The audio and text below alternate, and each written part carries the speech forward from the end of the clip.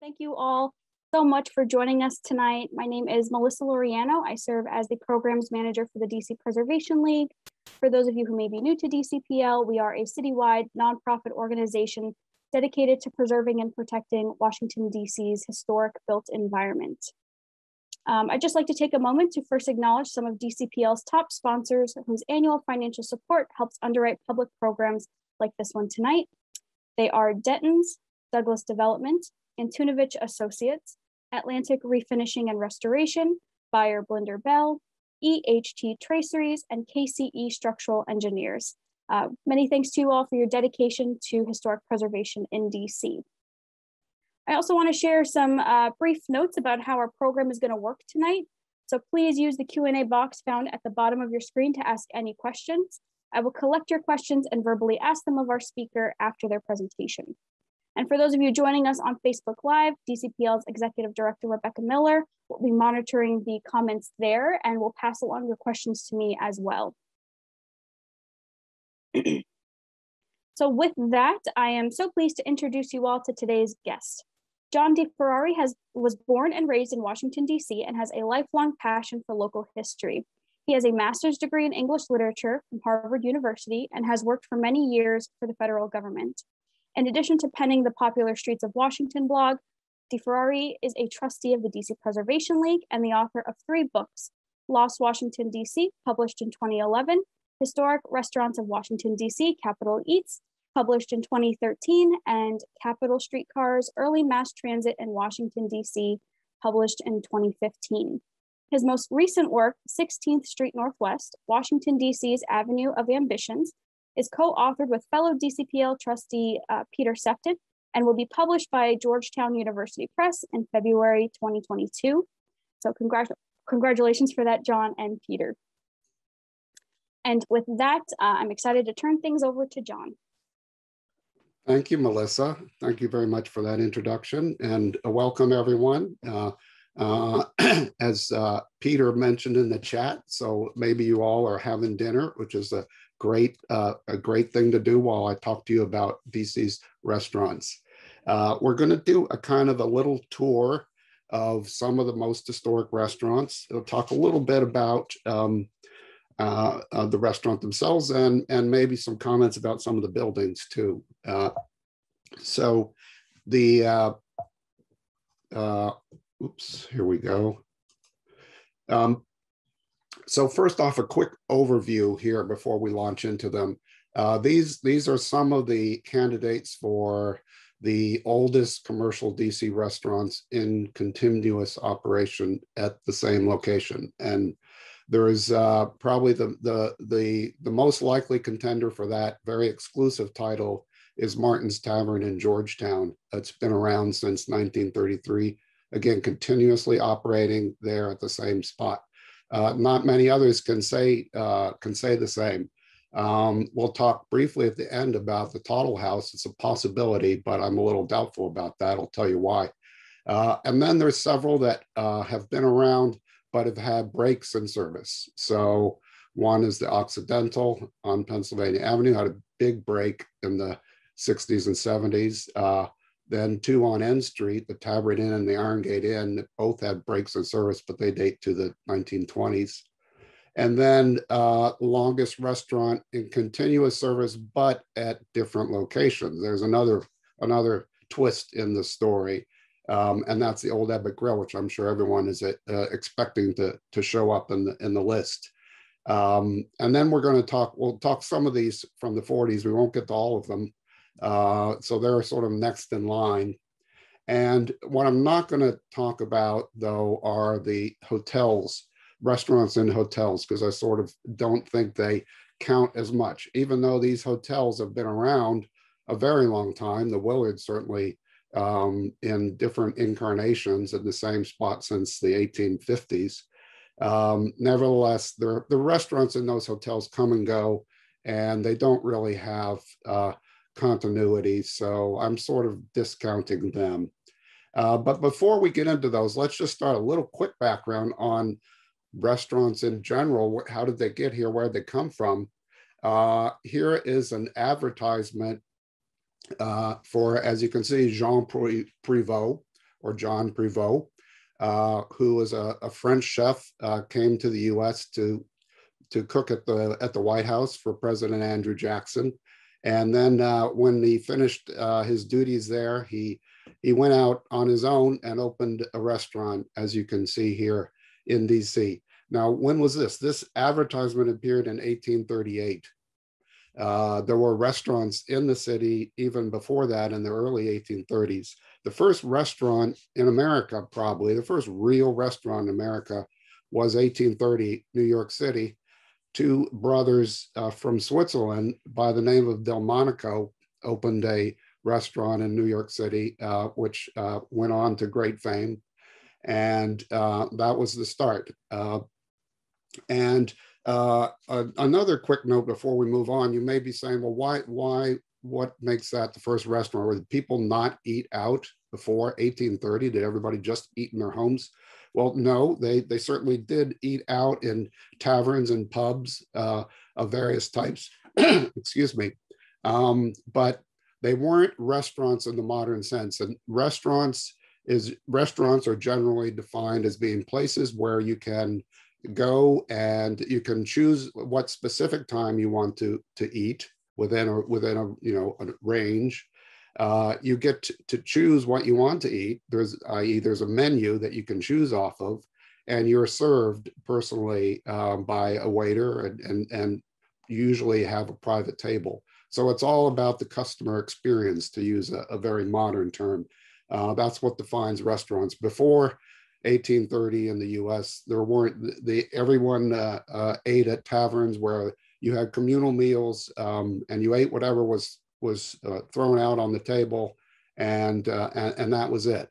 So um, restaurants were revolutionary. So uh, the um, um, well, I'm going to move quickly up to the modern restaurants that I mentioned, but I do want to mention a couple of highlights. One is here, the uh, this is a scene inside the US Capitol restaurant. Now, this restaurant opened, as it says there, in 1858. So if you want to be strict about it, uh, the Capitol restaurant is by far the oldest continuously operating restaurant in the city. It is, in fact, still uh, primarily in the same room on the house side of the Capitol uh, room H117, where it opened in 1858. So that's pretty impressive. And um, it is, it was in the 19th century, it was a very uh, prestigious restaurant. Uh, it was in a newspaper review called it one of the best restaurants in the Union uh, in 1869. Uh, and and they would have uh, they would bring in famous restaurateurs from around the country to uh, to operate the restaurant. The, the one here is, is George Downing, famous uh, African-American restaurateur from Newport, who, who ran the, the Capitol restaurant from 1868 to 1876. Uh, so, okay, um, moving through the 19th century quickly, uh, I wanted to, to stop for a second here at the Willard. I said I wasn't going to do hotels, but here I am starting off with a hotel. So that's you can't trust what I'm going to tell you. Uh, this is a uh, just a, a, quick glimpse of what uh, good restaurant eating was like. Uh, this photo um, Francis Johnston took in 1910 of the of the restaurant, the the, the main restaurant at the Willard, and it gives you a sense of the atmosphere of, of dining at, at the time. Uh, good restaurants were were deliberately uh, uh, places that were refined and aloof and and impossible for common people to access and that was that was uh, enforced through many different uh, subtle uh, social means you had the, the, famously aloof waiters that would that would always be so hard to to communicate with the menus would be only in french if you didn't speak french you wouldn't be able to read the menu and order anything uh, there were no complete meals. You were you were expected to be able to assemble the different parts of the meal from the menu um, because you were supposed to have that skill. And and of course there was elaborate etiquette. So this was a very uh, exclusive kind of world. These these uh, good restaurants of the 19th century, and that would all change in the 20th century, and we'd have a lot of different uh, new types of, of things going on. And um, I'm going to start, I'm going to sort of go chronologically through some of these historic restaurants. So I'm starting with the Occidental. And that was, uh, you see here a, a photo, uh, obviously from later on from the, the late 40s of, uh, of the front of the restaurant in, the, in this Occidental Hotel. It was uh, located, uh, still is located right next to the Willard. It was originally built by Henry Willard. Um, after his brother Joseph took over the Willard, he wanted his own hotel. So he, he built this boutique hotel next door. And he leased it to a guy named Gustav Buchholz in 1912. And that's when uh, Buchholz opened the Occidental. And he was a, uh, he had been the head waiter at the Willard. He was very popular then. And so that he branched out. And this is a, this is a pattern of all, uh, or maybe not all, but lots of the, of the really great lasting restaurants in this city and, and in other cities too, that you've got a really strong personality, uh, Buchholz in this case, uh, who drew people in and really built a following and made his restaurant great. And so the Occidental uh, became the, the kind of the first uh, power spot dining, power dining spot in the city. Um, it was a steakhouse that sort of set the trend of steakhouses in the 20th century. And um, it uh, here's a, a, postcard from the view of the inside of the original Occidental. And uh, it, it, was a place for people to, to uh, see and be seen and for VIPs to, to have important uh, uh, meals uh, with each other. And Buchholz started the, po the policy of putting up pictures, portraits of famous people who dined in the restaurant.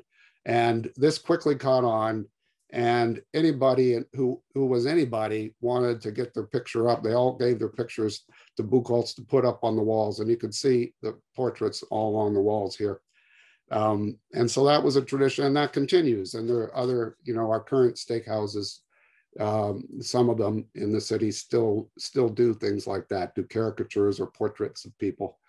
Um, the, uh, the Occidental uh, continued on uh, after Buchholz's death. Uh, his family continued it on. Uh, it started to decline as, as many um, institutions did uh, in downtown Washington in mid-century. the people didn't want to eat downtown after in those years, the 50s and 60s.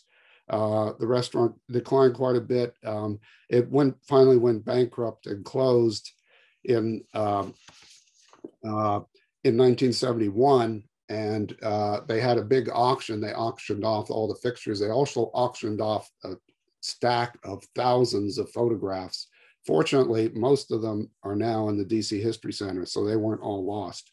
Uh, but so it was shut down, and um, and as as many of you probably know, um, the uh, the the Occidental was was torn down, and and next to it, the Willard Hotel also shut down for a while. But then it was uh, restored and reopened in 1983, and an extension was built on here so that they could recreate the Occidental or or have a new incarnation of the Occidental right next to it. And so it has been the, the reincarnated, rejuvenated Occidental opened in 1986 and has been there um, ever since. Uh, so, uh, so that's sort of that style, that uh, a, a, little bit coming off of the same style as as that Willard um, dining room I showed you. But uh, this was uh, this was not the only thing going on in the 20th century. And if we go along uh, chronologically to our next site, the Tabard Inn, um, we're into the 20s now. Uh, so a lot happened in in uh, 19 beginning in 1917 to the restaurant uh, world in DC uh, because that was the year that prohibition took uh, went into into effect in DC and prohibition um, just was devastating to many many restaurants a lot of the the uh, the famous restaurants uh, before that date went out of business. Many, many of them did. Uh, certain types of restaurants uh, were able to thrive, however, And uh, in particular, one type would have been the, the tea rooms or tea houses, uh, which were a, a, real, a real fad in the 1910s and 1920s. Uh, so tea rooms uh, were, you know, descended from an English model, but they became a really American style of, of, of uh, informal restaurant. They were, most of them, uh, aside from, well, there were two types. There were, there were tea rooms in hotels and department stores that were very institutional. And some people probably remember some of those. But then there were the independent ones, uh, like this one, the Tabard Inn, that were uh, run um, uh, mostly by women. And they were an alternative to your traditional restaurant. They were tea room uh, meeting, an afternoon tea, an informal meal, as opposed to the formal meals at a formal restaurant. And uh, and you drink tea or or or a non-alcoholic beverage, and uh, and and primarily by and for women. So um, so they they thrived, especially in, in the prohibition years that that killed off the the alcohol serving places. And here, um, the Tabard Inn, uh, in particular, uh, was opened by Marie Willoughby Rogers in 1922. She bought this uh, large uh, uh, townhouse on N Street near DuPont Circle and opened this place up. Uh, she kind of envisioned it as a sort of a party house, and it became very popular. a, a, play, a meeting place for uh, particularly for women, but but everyone allowed in, of course. And um, this, uh, I won't talk a lot more about this particular place because uh, the, the DC Preservation League is going to have a, an event at the Tabard Inn for members later in the month. Uh, so you can learn a lot more about it. Uh, but this, the Tabard Inn continued until um, 19, until the early 1970s. I think around, I think 1970 actually. Uh, I was trying to just checking my notes on the dates here. And, uh, and then it was uh, closed through most of the 70s, but it reopened at the end of the 70s and has been in operation since then. So that was the break in service uh, for the Tabard Inn. Now, directly across the street uh, from the Tabard Inn is the Iron Gate Inn, or was the Iron Gate Inn. And this here you have this, a view, uh, a vintage view inside the Iron Gate Inn. Uh, so what is this place and why does it have these odd looking uh, piers and, and railings and such? Uh, the, the Iron Gate Inn is actually the former stables that, that is behind the a mansion on N Street. And that mansion, uh, built in 1908, uh, was built by General Nelson Miles. He was the commander during the uh, Spanish-American War. And uh, Miles was a was a great uh, horse aficionado. Uh, he loved his horses, and he built a very extremely elegant uh, stable stables for the for the horses in back of his house. No one else would have done such an elaborate uh, building for stables. and in the in the early 20s, the mansion became the headquarters of the General Federation of Women's Clubs.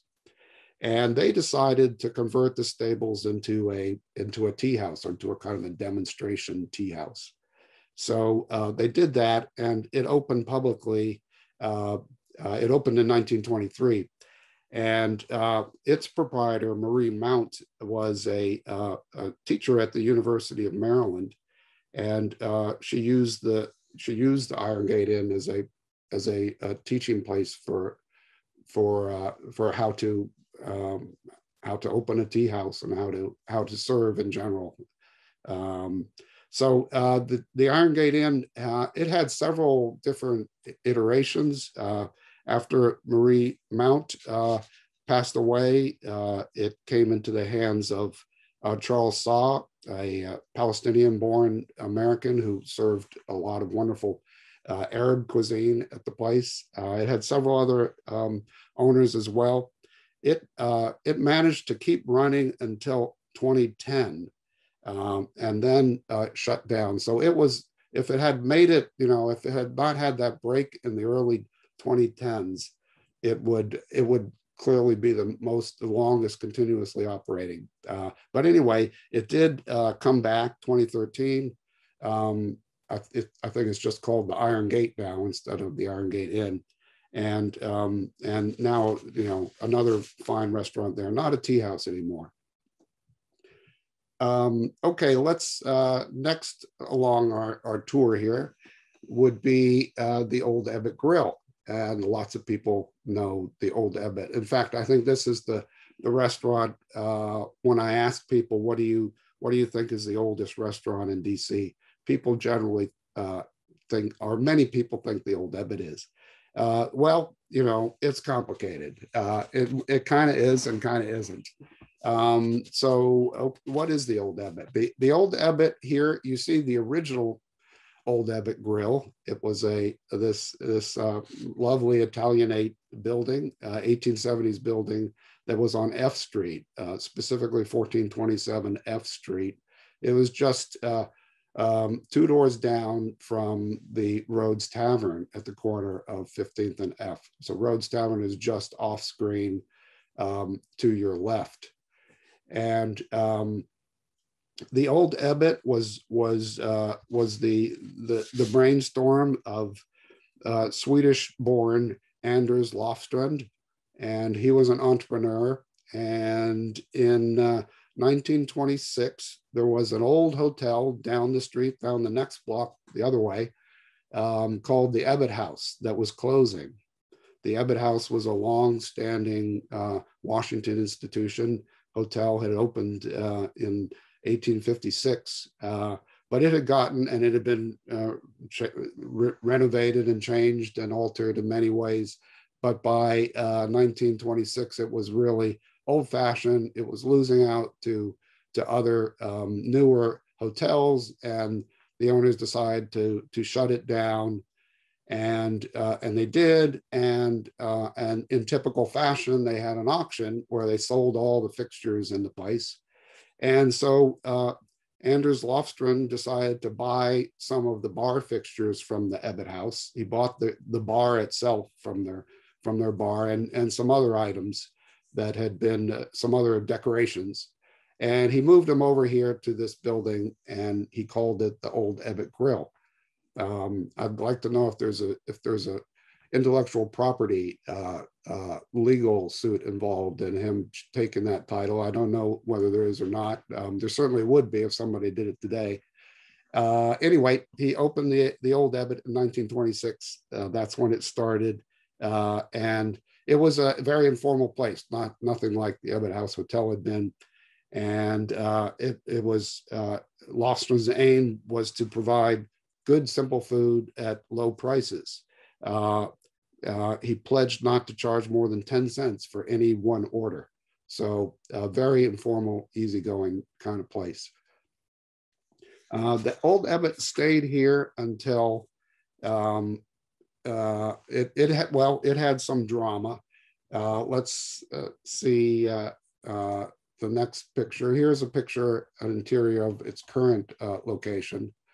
And uh, actually, I'm getting a little ahead of myself because if we're if we're still back in in the townhouse, um, let's let's I changed my mind here. Uh, so uh, after Lofstrand died, uh, this uh, restaurant also went through a couple different hands, and it was uh, by the mid mid century. This, this, is a similar story as we heard about the Occidental. It was on on hard times, was not making money, and in fact.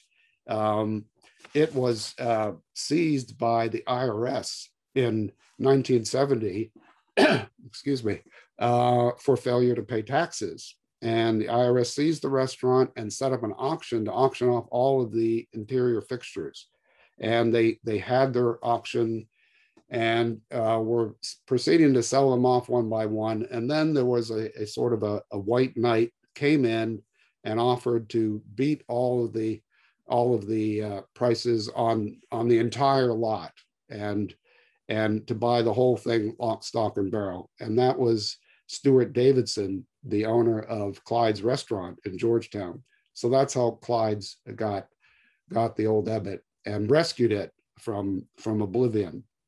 Uh, so that happened in 1970 it, it, it became part of the old, uh, part of the Clyde's uh, chain. And then uh, let's go back now to this 1983 picture. This is uh, the restaurant moved around the corner in 1983 when uh, the original uh, building was torn down uh, along with Rhodes Tavern, um, you know, after a long, unfortunate saga there, uh, which would be a topic, a long topic of its own to talk about. So I won't go into it. But um, the restaurant is now parked behind the facade of the old National Metropolitan Bank on 15th Street, part of the Metropolitan Square complex now. There's only the bank's uh, facade is the only historic uh, remnant left. There's nothing behind it that's historic. This is all uh, 1983 space. So, um, so there you have it with the old Ebbitt. It's a complicated story. It's moved to different places. Uh, the old Ebbitt, sometimes they used to at least have little cards claiming that that the restaurant opened in 1856 uh, because they were kind of trying to scoop up the whole history of the Ebbitt House Hotel as being part of themselves, which to me is kind of cheating. So I think they date back to 1926, which is pretty old in and of itself. So, uh, so there you have that. Now uh, let's move on to Martin's Tavern, which I said uh, I think is is the oldest continuously operating in the same spot. Martin's is in Georgetown, as you can see, as you may have seen and been there yourself. 1264 uh, Wisconsin Avenue. This building, this is a charming building, uh, a little uh, 1869 corner store type building. And uh, uh Billy Martin, who was a, a, Georgetown native and a, a baseball uh, star player, opened Martin's in, in April 1933. and there's another tradition there of sports players opening restaurants, which is is uh, is a, a theme that carries across uh, not just in DC but across the country. And um, so 1933, why is that important? Well, um, that's when Prohibition finally ended. So Martin's was Martin's had the first uh, liquor license after Prohibition, and interestingly, there were there were a lot of uh, finicky rules about about uh, eating at Martin's when it first opened because um, Billy Martin wanted to make sure it was a respectable place and that all the bad things that people used to say about bars and taverns weren't going to happen at his place. Um, there was a strictly enforced dress code. Uh, women were not allowed to sit at the bar at all. Uh, men were prohibited from moving from moving around. You had to be seated at your table, and you had to stay there. So there was going to be no uh, no messing around in, in Martin's Tavern. And uh, it's kind of, uh, we can we can laugh at, at that sort of thing now, but at the time, it was part of the effort to, uh, to make people feel comfortable with taverns reopening. So um, uh, Billy Martin was a, is a great uh, host for his, his, his tavern and was very successful, very popular. Uh, everyone went there. Presidents went there. Um, every president from uh, Truman through George W. Bush dined at Martin's. Uh, Kennedy, uh, John F. Kennedy is said to have proposed to Jackie Bouvier in booth number three. So I, I, think it's even marked if you if you go there now. Uh, and Martin's is is uh, um, obviously still in business. Uh, one reason for that is that uh, the Martin family still runs it. Uh, Billy's grandson, also named Billy, is the uh, it runs the tavern to this day, and um, and that's that's a little bit rare. Usually, uh, restaurateurs retire, the restaurants close. Uh, sometimes their children will run uh, a restaurant, but often you get to the third generation and they're not interested, and the place closes. So Martin's is an exception that way and uh, a key reason why it has it wins the prize for longest uh, restaurant in one location. Uh, so let's move into the 40s now. Uh, we're not we're not setting any more records, but we're we we do have a lot of historic restaurants uh, around uh, from the 40s and 50s. the Florida Avenue Grill, uh, great place, wonderful food. Uh, it uh, opened, as you can see there, 1944. This is a, um, a rather humble building. Was built in 1916. It's on the corner of uh, um, Florida Avenue and at 11th Street.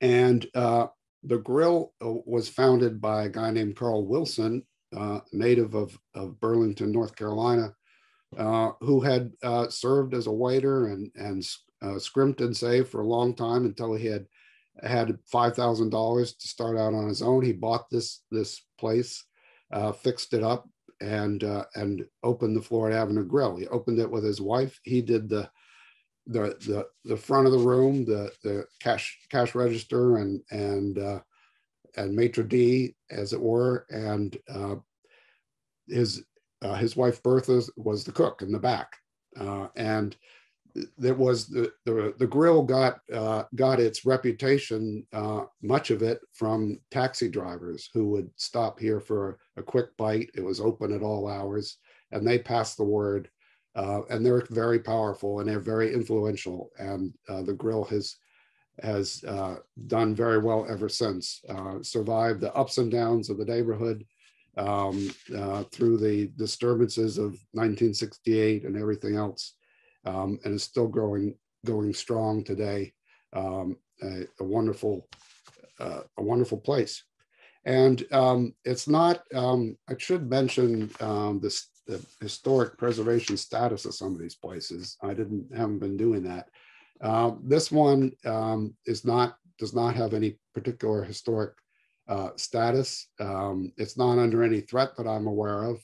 If it were to be protected, it would certainly be because of the uh, the the Florida Avenue Grill itself, the business, uh, probably not uh, for the building.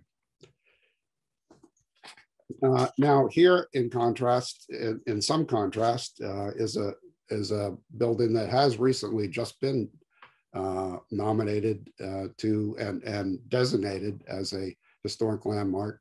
This is Annie's Paramount Steakhouse on 17th uh, Street. And the the Paramount Steakhouse, the story there, originally opened in 1948. It was opened by um, George Katinas, uh, son of, of, Greek immigrants, um, he leased a, a, property actually about a block or so uh, south of here, and uh, in, in 1948, and um, uh, opened the Paramount Steakhouse. It was just a, a regular neighborhood steakhouse, and um, George's younger sister Annie uh, worked at the restaurant beginning in 1952 and she was the she was the powerful personality. You know i mentioned before that a lot of uh, great restaurants are connected with with people that uh, often the owners who have really who are really charismatic and and and and generate and build up a community uh, of customers. And in this case it, it was it was annie and uh, she was a real favorite of of the patrons uh, so much so that in 1962, George uh, added Annie to the name and it became Annie's Paramount Steakhouse.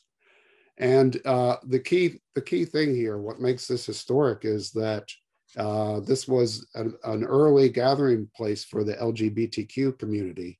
Uh, and Annie was a, was a really powerful person in making uh, making those people feel comfortable, making gay men and women uh, uh, comfortable and at home and, and able to, uh, to openly eat and celebrate and commune in, in the restaurant long before it was something that, that could be done in the open. Um, in the 50s and 60s, it was a real pioneering institution for that.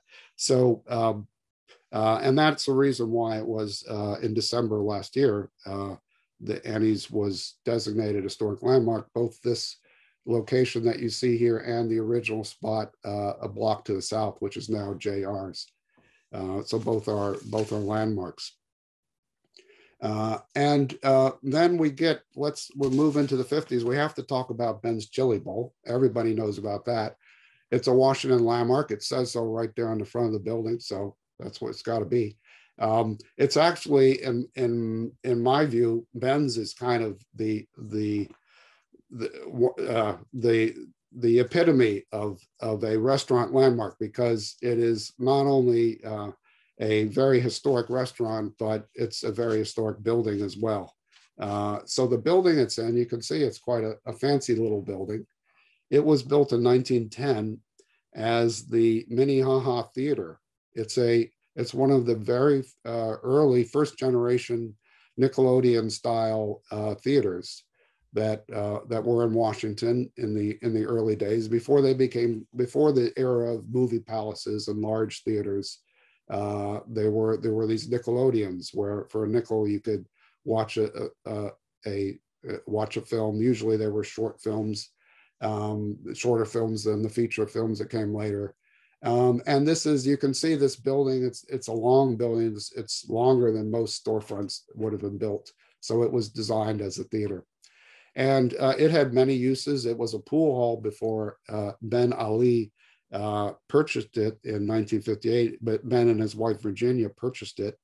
Uh, ben just sort of quickly on, on Ben of Ben's Chili Bowl, uh, he was a native of Trinidad who came to Washington uh, to to go to school at Howard University, uh, and he wanted to, he went to dental school. He was aiming to be a dentist, and um, his plans changed when uh, he had an unfortunate accident, fell down an elevator shaft, and um, uh, it it kept him from being able to really to be a, a dentist, and uh, he had to find something else and uh, he worked for a while at just down the street at at um, Ann's uh, Ann's Hot Dog Grill, and that's where he learned the business of, of hot dogs and chili dogs, and and burgers and etc.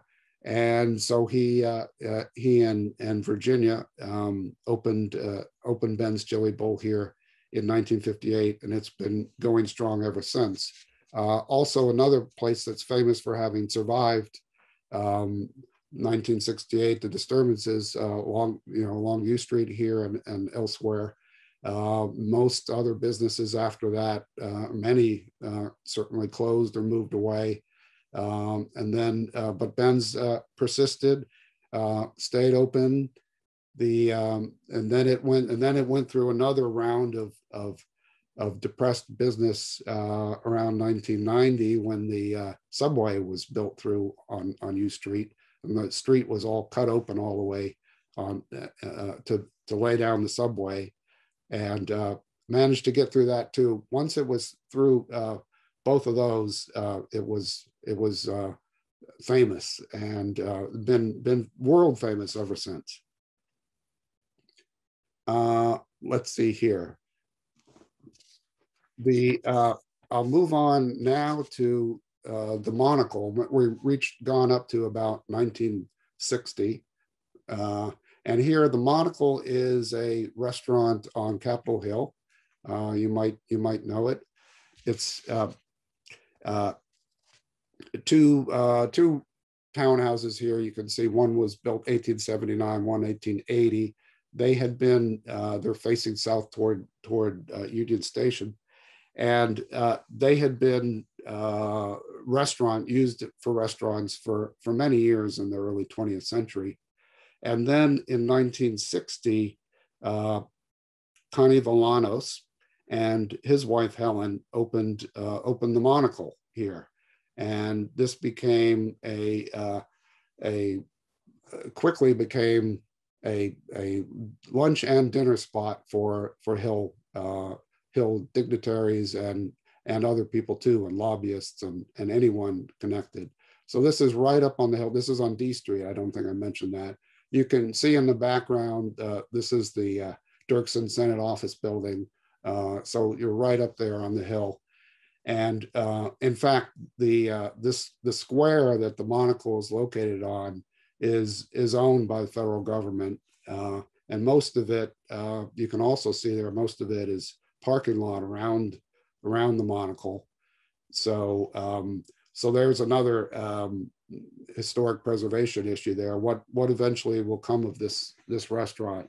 At some point, one imagines that uh, the Senate will want to build something on this square, uh, another office building perhaps, or parking garage or something, and we'll see we'll see what happens to the monocle.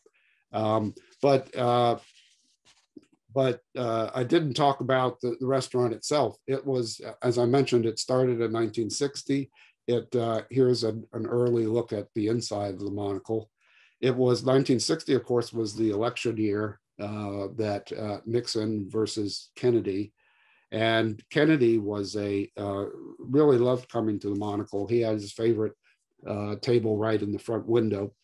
And um, and all other senators and congressmen were, were frequent guests as well. Uh, the um, the there's the, the the the story I I enjoy most about the monocle history was uh, once when Lyndon Johnson came when he was uh, a vice president in in those years with with Kennedy, and he came uh, one evening to discover that uh, no tables were available. The restaurant was full. And he asked Connie Valanos to get on the loudspeaker and ask whether anyone would be willing to give up their table for the vice president. And uh, Valanos did ask that, and uh, no one volunteered. And uh, Johnson apparently uh, just stormed out in a huff and never came back. Um, but, you know, I wouldn't have volunteered either. So, uh, so I'm, I, I totally understand. The, um, uh, and, and the monocle, like many of the restaurants or, or, a number of the restaurants right up there on the hill, uh, was even has been wired, and I think probably still is to to have the bells from Congress uh, ring in the restaurant so that members are there. They'll know when when votes are being held, and they can they can rush back to the floor and cast their vote. Uh, so it's a real Hill institution, still going strong. Um, uh, it's now run by John Valanos, the, the son of Connie and Helen Valanos. So again, that's in the family. Um, he's a, a, great host, uh, uh as was his father and mother. And uh, that's, that's uh, a big strength of, of the monocle. Um, that's as far as I'm going to go in terms of, of into into current times. So uh, 1960, uh, we've got that's not that recent. So there are many, many restaurants since then. I do want to talk a little now about some of the places that uh, were restaurants. The buildings are still around. They're not restaurants anymore. And uh, particularly the little casual ones. Uh, a lot of people, I'm sure, are going to remember the Little Tavern uh, which was a chain in uh, throughout the, the area. Uh, and here's a place, actually this photo is out of date. It, it's now just called the Tavern, this particular one, uh, which is on M Street in Georgetown. And, uh, but let me talk about the history of the Little Tavern for a second. the Little Tavern was, um, frankly, an imitation of the White Castle uh, chain, which began in uh, Kansas in, the, in 1921.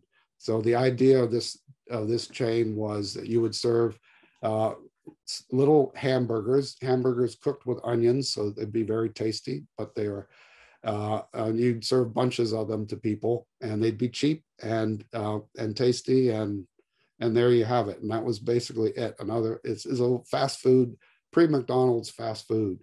Um, and they were often, the White Castle set up the system where they had little, uh, little restaurants, prefab style restaurants, and uh, they were very successful and everybody imitated them. And one of the big imitators here in the DC area was the Little Tavern. And it was founded by Harry Duncan in, it was actually founded in Kentucky in Louisville in, in 1927, but Duncan moved to, to DC and opened the first one here in 1928. And um, as I said, it, this is a knockoff of the White Castle. He also had the little little burgers. Uh, the White Castle had a motto: "Sell them by the sack" was their motto because you'd buy a whole a sack of, of burgers. So uh, Duncan, for the little taverns model, he he said he'd call them "buy them by the bag." So he not only stole all the the uh, the uh, uh, the recipes and and and the business model of White Castle. He even basically stole their slogan and, and tweaked it for his own use. Uh, and the little tavern was was very successful. There were lots of little taverns, and they had um, in the early 30s, uh, Duncan developed this distinctive uh, style for for the little tavern that was had this green um, sort of semi Tudor like look to it, uh, but it had has metal panels. Uh, um, uh, uh, glazed white glazed uh, panels, but with green green trim. And so very distinctive, very recognizable. And you can still see these buildings around the city. There were um, lots of them. I think there were, were something like, there were more than 50 of them in the area uh, when the chain reached its peak in the 1950s. And, uh, and then it, you know, it, it petered out. Um, it, it lost its, its charm the originally, especially with the this white enameled look, when it when it um, began in the 20s and 30s, this look uh, really convinced people of the cleanliness of the place. And this was a, a type, uh, the white look was something that that was done by a lot of restaurants. Obviously, White Castle, you know, White Tower is another chain that that did it. So um, so they they looked clean, but um, you know, over time, by by the mid 20th century, really they they had a reputation for not being clean, um, fair or, or, otherwise. That was the reputation, and uh, and of course people called those little hamburgers death balls. So uh, um, things were not things were not going too well, and they they eventually petered out. Um, the last one, uh, the by the 1990s, they were gone out of DC. The last one I, I understand uh, near Baltimore actually didn't close until 2008. But, but anyway, they're all gone now. And uh, they have their other purposes. This one here in, in Georgetown, um, as you can see, is, is owned by Sweetgreen. They have a market there now. They call it the Tavern after, in, in homage to Little Tavern. It's a, it's a little, little market. Um, another one, just one other I'll show.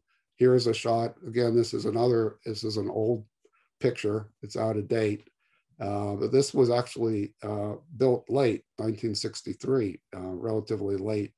Um, and it is in the Union Market area on Morse Street. It, it was. If you go there now, I think um, changes all the time. So I'm, I'm not uh, totally up to date on exactly what it looks like. But the last time I saw it, it was just a huge hole in the ground on this block where a new building is coming up.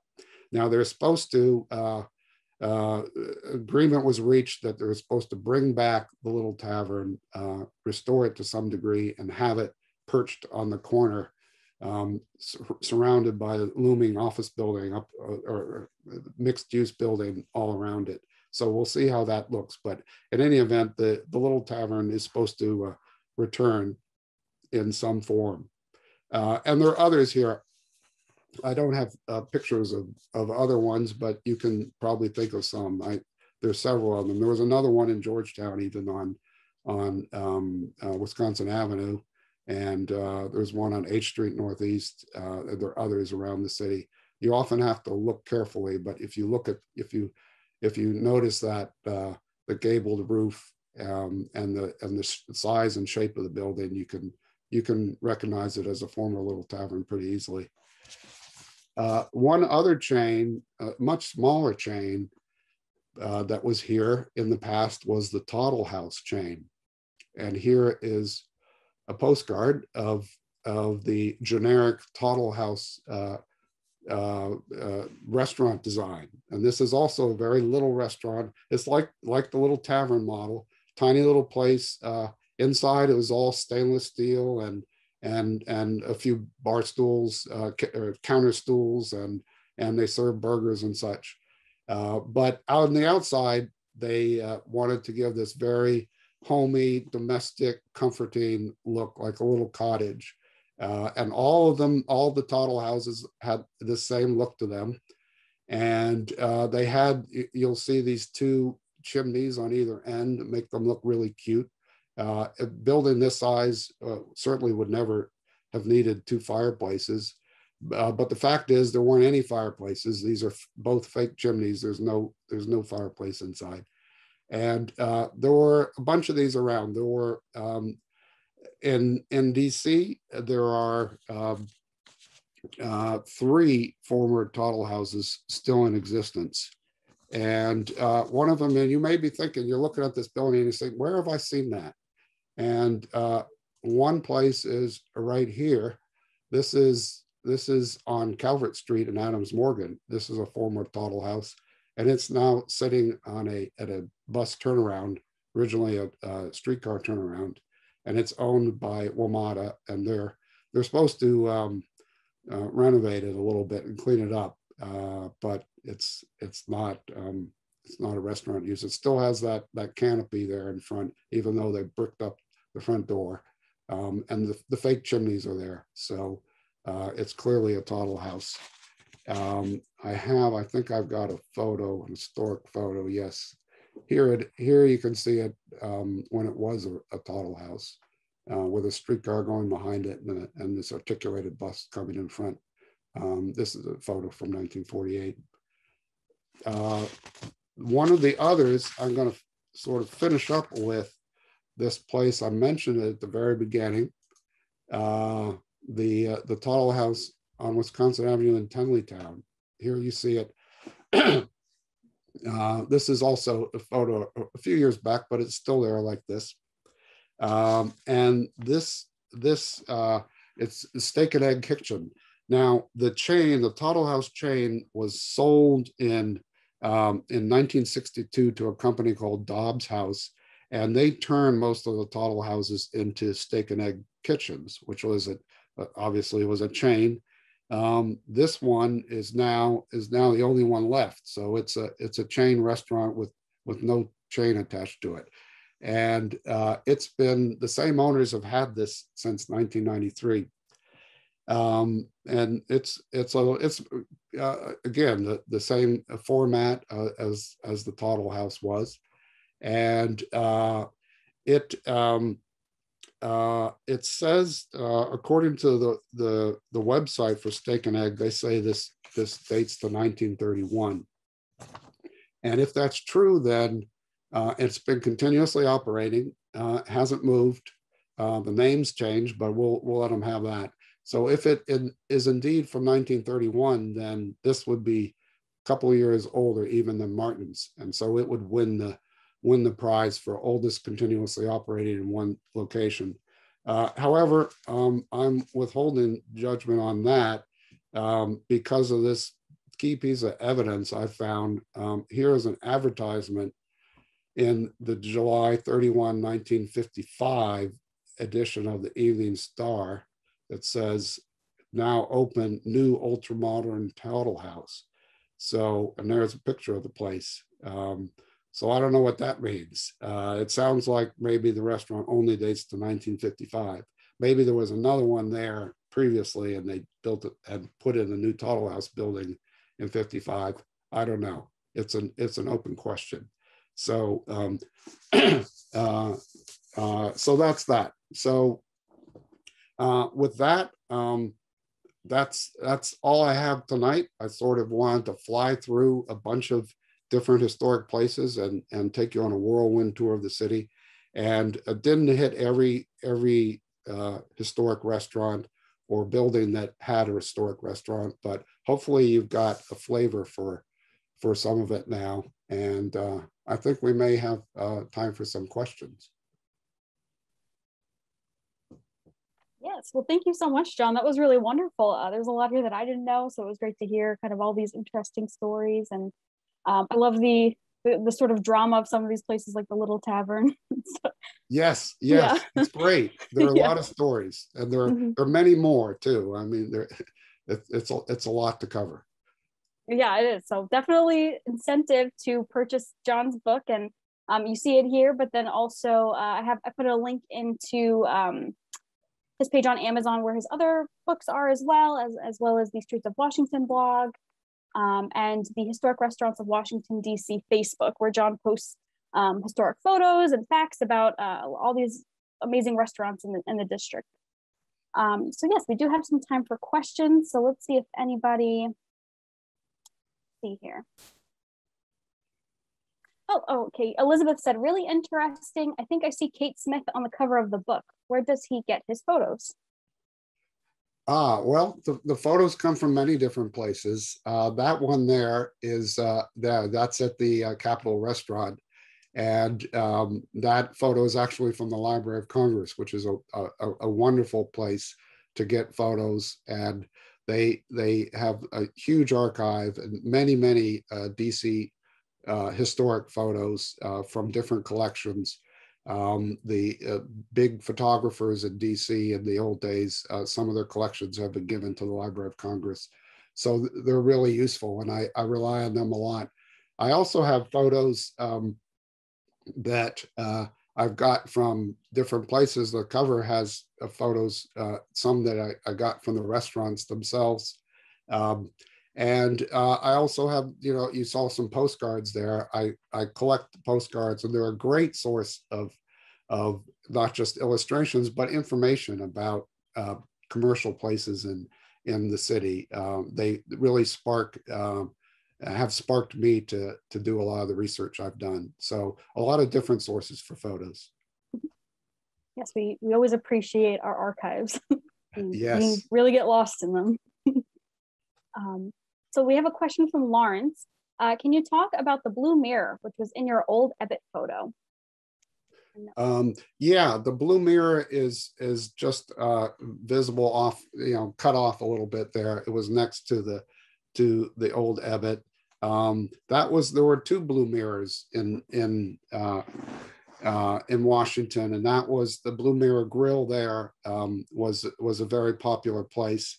Um, and there was another Blue Mirror down uh, uh, further downtown um, that uh, eventually uh, uh, sort of drifted into the uh, the um, the less savory type of place. they had strippers there in the back in the in the bad old days when when strip joints were downtown, and um, I mention that only because the the Blue Mirror Grill uh, next to the old Ebbitt uh, started to get uh, tarnished by by reputation just because it had the same name uh, when it was in fact a, a, just a nice little neighborhood grill. Hmm. um, but it was it was there for a long time. That is funny. You're talking about one but you really mean the other one? Yes. Yeah that's what I don't know why, people choose the same names for things, uh, and that we we saw that with the old Ebbitt. Uh, they took took the Ebbitt name, and then there was actually another uh, Ebbitt Hotel. There was the the the new Ebbitt Hotel was on H Street uh, to add even further confusion to to that uh, to that uh, long-standing uh, source of, of of confusion. yeah, I'm sure they developed nicknames to hopefully try to uh, I, you know. I would think, yes, I would think, but I don't know. um, yeah, so I'm still waiting for some questions from the audience, but I guess I have a question. Um, you did all this wonderful research, John, and, and you shared a lot of great uh, restaurants with us. Um, so I guess which one or a couple of them, like which ones are your favorites or what did you particularly like to research about and, and, and learn about?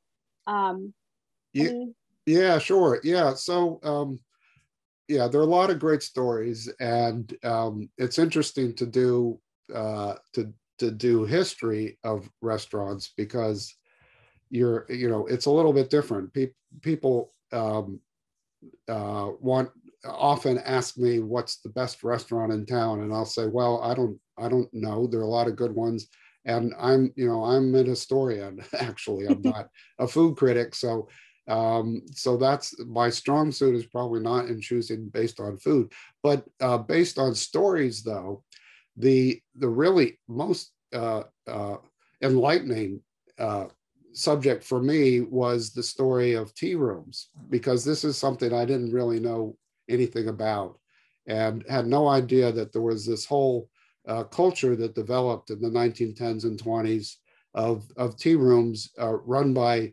women that were almost it was a counterculture really uh, uh, of the day. And these were places uh, where women could meet and feel comfortable. And they, you know, they were successful businesses, and they really, um, um, you know, uh, let let the rest, regular restaurant business know how out of date they had become with their very restrictive policies and their very, you know, prudish and and and uh, and and patronizing attitudes that that existed in the day. Um, so uh, so it was really great to learn about that and and to see this tradition and the, the tea rooms. You know, it's interesting. They they continued on till till mid century or so when there were some uh, some great places. Uh, the the Watergate Inn that uh, is a great one down where where obviously where the Watergate is now. Um, and and then they kind of died off. And then you know now we've got in the 1990s teaism was a pioneer of sort of reviving uh, tea houses or tea rooms in the city. And now we have a we haven't we're flourishing with them new a new generation of them. And they're different. They're not the same as the old ones but um, it's just i just found that a really uh, interesting um, little subgenre of the of the restaurant business. Yeah, absolutely. Here. John and Holly ask, uh, do you have any thoughts about the long-term impact of the pandemic on DC restaurants? Uh, yeah, that's you know that's that's a great question, and uh, I've I've been asked that before, and you know I think about uh, you know I mentioned the prohibition situation, and and that's what comes to my mind is uh, as in, in terms of an analogy to, to the pandemic. That's that's the the most um, uh, uh, analogous situation that we've had before in the past where something has come along that really um, impacted the industry severely and um, and so the lesson from that was there was a lot of turnover um, certainly but there was there was also you know once once the the bad part uh, was over there was there was some new energy. And um, and i'm i'm thinking that we're going to have something similar here. I don't i don't think the pandemic in the end is going to be as bad actually uh, for the restaurant business as prohibition was uh, but certainly it's been very hard and and some places have closed and every every restaurant has suffered um, but um, you know, the ones that are still here, um, I think there's going to be new energy, uh, and we can we're seeing some of that now.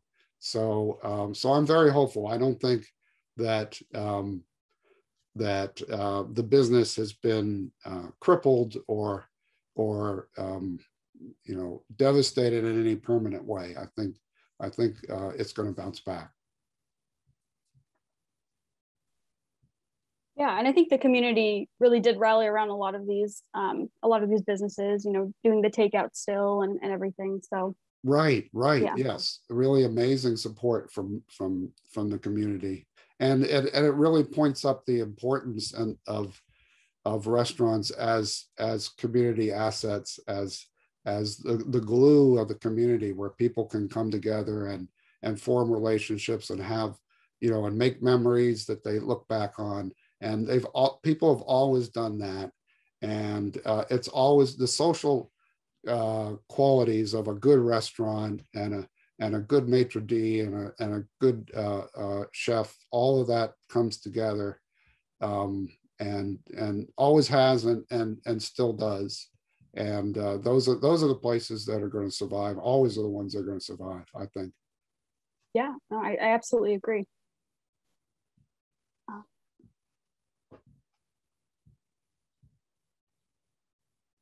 Hold on, let me looking to see if we have other questions. Oh, Peter asks, are there any historic Washington restaurant recipes out there? ah, well, you know, I looked for some. I, I and in in the book, I do have uh, a sampling of recipes from from different restaurants. Um, so uh, I've got the the rum bun recipe, the famous rum buns that everyone remembers from the seafood restaurants down in Southwest um, from Hogate's and um, and the others. Uh, so I, I have a, a, rum bun recipe. I've got some others. I have a recipe from the Iron Gate Inn. um, and uh, and a few others. So they they they can be found. Um, they're uh, it's it's uh, it's a little catch as catch can. Sometimes you know you go far enough back.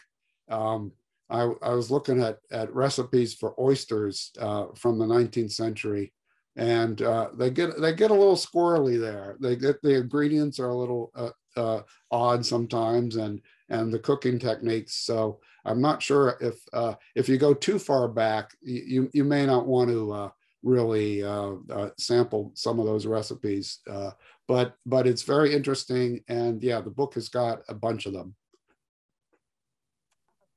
Yeah, Bill said um, the rum bun recipe is worth the price of the book. so, Glad to hear that. Yeah, I, I, I, agree. I would do. I would if I had to buy it, I'd get it for the rum bun recipe. Um. Uh, so Nancy asked. Uh, so in referring to Ben's Chili Bowl.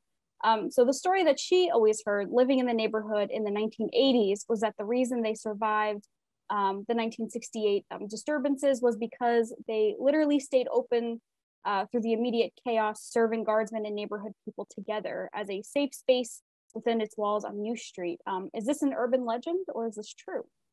Yeah, no, I, I think that is absolutely true. Um, it it uh, you know it was it's you know in those times where where it's chaotic and and and you know and and bad stuff is going around and people are kind of going crazy a little bit it's it's hard to um, even if you're you know even if you're a good business owner it, it can be tough and you could get a random um, um, molotov cocktail through your window and your place is on fire and and even though you were you were uh, um, you know uh, even though you supported the community and and it, um, so it it um, so some places you know sort of uh, suffered randomly and I think it's definitely true that Ben's um, really actively got was engaged with the people out there all the time uh, during the disturbances, um, and that uh, no question that helped helped them survive. Um, and they they had you know in addition to the, to the basic reputation they had uh, of being a strong member of the community, not being uh, an outsider the way uh, some businesses were perceived as being people from outside that had that had come in and were and were just making money off of off of um, the the community. And so uh, Ben's did not have that that reputation. That definitely was a factor. Absolutely. Um, a lot of fans of the rum buns. Um, Elizabeth yeah. said she forgot about them. She said this was great and just what we needed to get us thinking about eating out again. yeah, yeah, oh yeah, definitely. Mm-hmm. Um, yeah, those those seafood places are all gone. Um, so uh, I would have uh, um, included them if we had if we had anything. And of course, the, the Southwest waterfront is now in this whole new uh, incarnation, um, which is which is really fun. Um, but it does mean that that the historic stuff is all gone, and, and it's been gone twice over.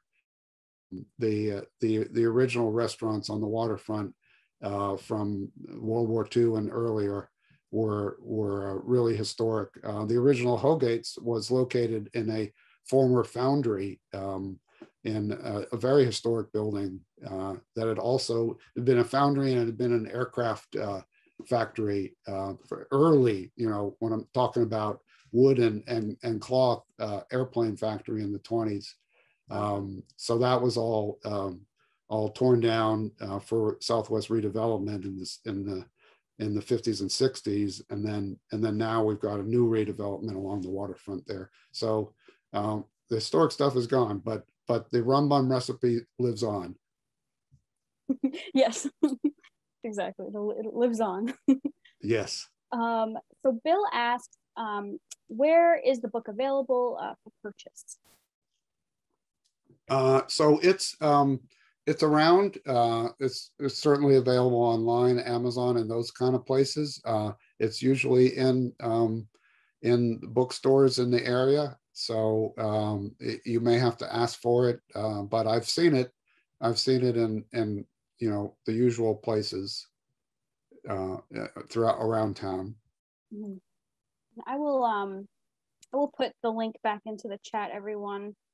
You can just um can click it and get and take it straight straight to it um on Amazon though. But there chat again. Um so think we have one final question. Um, so any thoughts about the, and I'm probably gonna mess this up, but I'm sorry. The uh, Sans Souci restaurant in Georgetown, um, arguably one of the few really famous people places we've ever had. And thanks uh, for all the memories. And that is from Anne. Oh, certainly. Yes. Um, yeah, there, there is, uh, there's another whole strain of, of, of uh, types of restaurants on the, the, uh, you know, the the power lunch places and, and power dinner places. So the sans souci uh, that she's asking mm-hmm. about, uh, which uh, means without care, without worry in, in French. Uh, sans souci was actually um, on 17th uh, Street uh, downtown. And um, it was, it was, there was a, a, a wonderful collection of, of French restaurants. There was this renaissance of French restaurants in the 50s and 60s and uh, particularly in DC in the early 60s, uh, really got a, a, shot in the arm, the restaurant business, uh, when JFK was president, because he really loved to go out to restaurants. I mentioned they liked the monocle, um, and he was and he proposed to Jackie at Martin's Tavern, um, but he also uh, went to places like Sans Souci or uh, Rive Gauche in Georgetown, which was the um, opened in the 50s. That was right down, right there at the corner of, of uh, Wisconsin and M. Um, and uh, Rive Gauche was uh, uh, a, a, um, a, a, place that fostered a lot of French restaurants in the city and, and great French chefs uh, were brought there, got their start there, and then opened restaurants um, like Pierre, uh, Lion d'Or, um, I don't know, can't think of all the names, uh, but but there was a, a, whole bunch of them. And then the, the Sans Souci was was famous uh, in particular, um, being it was on 17th Street, is about a block away from the White House, so it was another power spot, particularly for White House folks. Um, and uh, uh every everyone talked about it. It uh, in its later years, um, McDonald's opened a, a, a McDonald's opened right next to it on on 17th Street, and uh, I think that was it was just infinitely embarrassing to have a McDonald's next to Sans Souci, um, but uh, it it um, and maybe that maybe that uh, doomed it ultimately. I don't know. Uh, but it yeah it closed. I don't remember now when it closed. It must have been around 1980 or so. Um, but it was its its height was in the 60s and 70s. Um, and Anne, for everybody, uh, put a link from the Washingtonian about how uh, Mick Jagger couldn't get a table there. So yeah, there's so there's a good dramatic read for you. must must be good. yeah, Mick Jagger can't even get a table. Yeah. um, well, thank you so much, John. Uh, we're we're you know we're gonna have to end here, but uh, thank you so much for you know, giving us this tour. And uh, there's so much history. So definitely everybody I encourage you to, you know, purchase the book and, and follow um, John on social media and, and check out uh, his blog, uh, Streets of Washington. And again, I put